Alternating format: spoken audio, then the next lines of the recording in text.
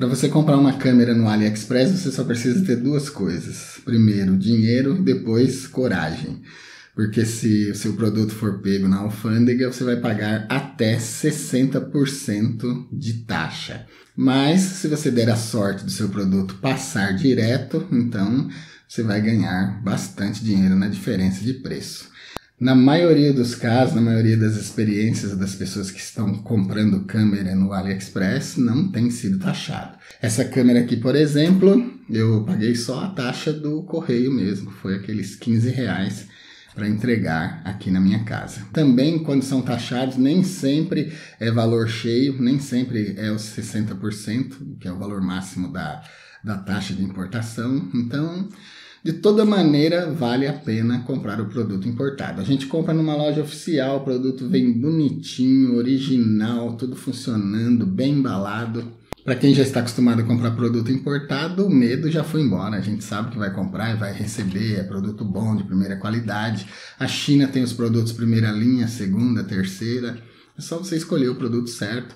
Isso aqui é um produto global. Essa daqui é a Canon 250D. É a mesma SL3, a mesma máquina. Só muda o nome porque esse aqui é produção para a Europa e a SL3 é para a América Latina, aqui para nosso nossa região. Mas é a mesma câmera. Vou mostrar para vocês agora o unboxing que eu fiz. O produto veio muito bem embalado, bem protegido, bonitinho, todas as peças, tudo funcionando direitinho. Como você pode ver, o produto vem bem embalado. Na maioria dos casos, o vendedor manda como modelo de brinquedo, como você pode ver aí, Toy Model. A embalagem é discreta, com certeza não vai chamar muita atenção na alfândega, então você tem menos risco de ser taxado. Vamos desembalar agora e vamos ver o que é que nós temos aí dentro da caixa.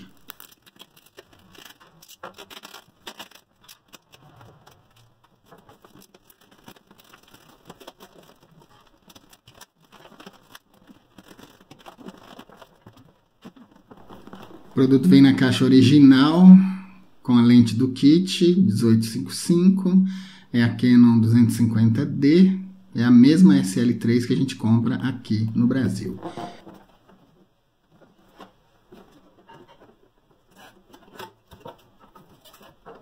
Esse é o cabo de energia para o carregador da bateria.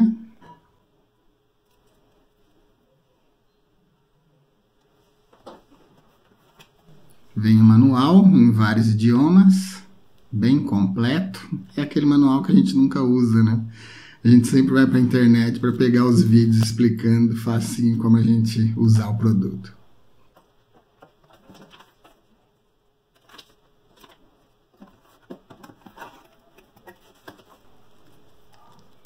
A bateria original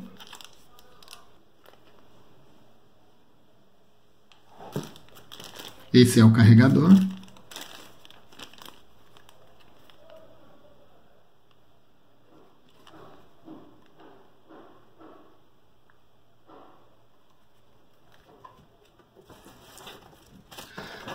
A fita de pescoço, também original da Canon.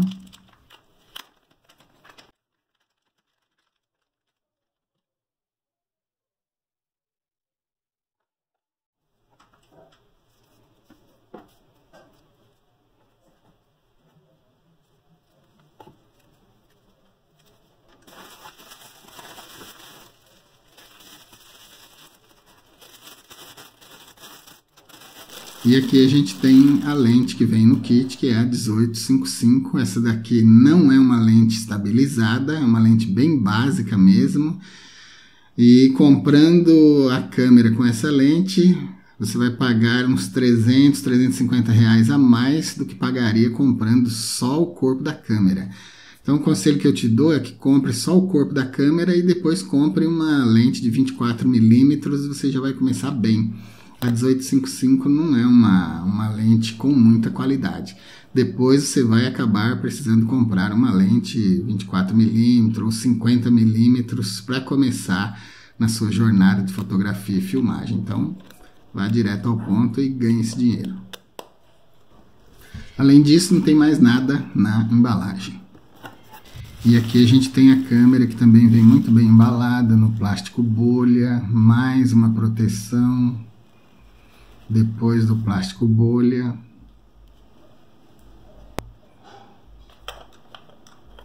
mount de metal, muito bom. A 250D é a mesma SL3 que a gente compra aqui no Brasil.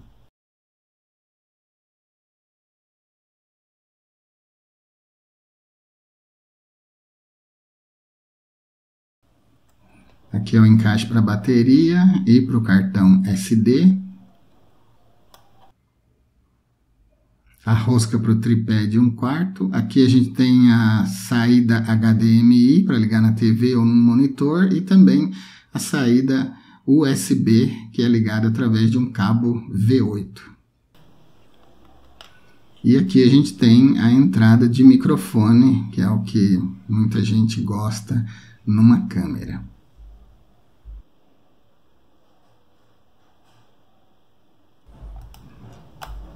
A tela é retrátil, uma tela flip.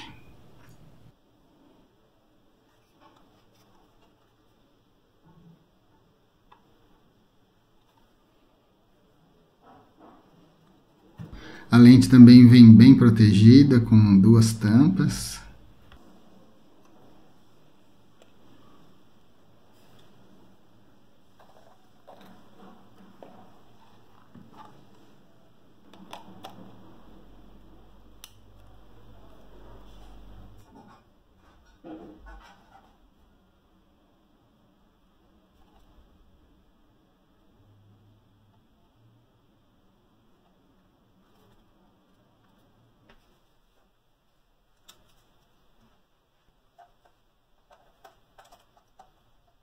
E esse é um cartão da Lexar de alta velocidade com pinos extras para você ter muita velocidade na gravação tanto de fotos quanto de vídeos.